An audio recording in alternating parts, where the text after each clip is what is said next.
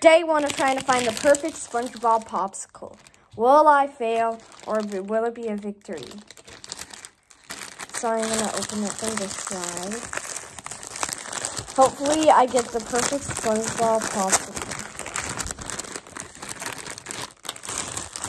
Oh, Dyes are a little derpy, but I'll get this one like in the bunny rabbit teeth. A little derpy, but I mean that looks uh they promised this like literally and why is there another side of Snow Eyes? That is weird.